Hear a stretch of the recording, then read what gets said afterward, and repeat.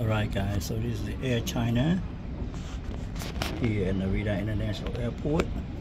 Just landed here, maybe from Beijing. Alright, so this plane head back to Beijing here from Narita International Airport.